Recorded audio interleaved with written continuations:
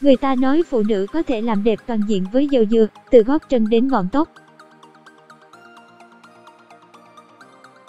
Dầu dừa dưỡng ẩm da rất hiệu quả các thành phần trong dầu dừa cải thiện vùng da bị hư tổn, giảm lão hóa da, cung cấp dưỡng chất giúp các tế bào da hồi phục nhanh chóng.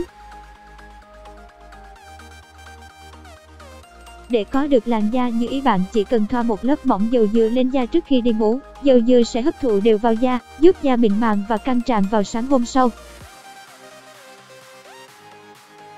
Riêng đối với những bạn gái có làn da nhợn thì khi làm đẹp da với dầu dừa chỉ nên thoa một lớp mỏng. Dưỡng tóc luôn mềm mại tự nhiên đây là cách làm đẹp với dầu dừa được nhiều chị em minh chứng nhất. Các vấn đề về tóc như rụng nhiều, chảy ngọn, nhiều gầu đều được giải quyết.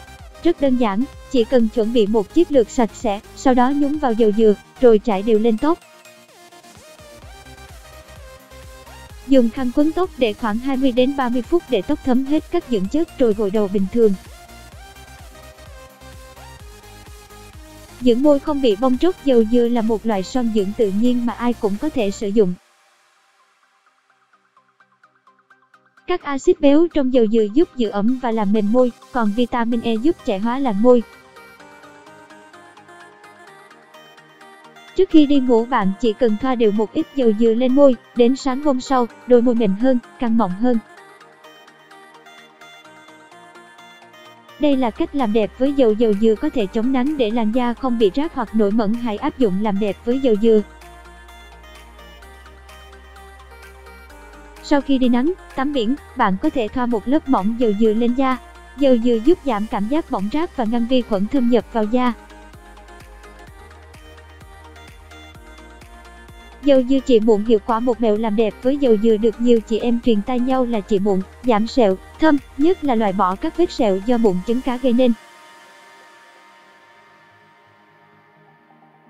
Mỗi tối, bạn chỉ cần làm sạch da bằng sữa rửa mặt, lúc này lỗ chân lông trên da sẽ mở ra.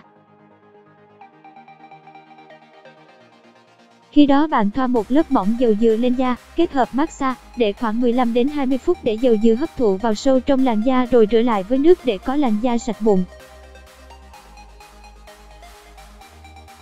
Dầu dừa trị rạn da, nước để cách dùng rất đơn giản là cho dầu dừa vào một cái lọ nhỏ, tương tự lọ thuốc nhỏ mắt.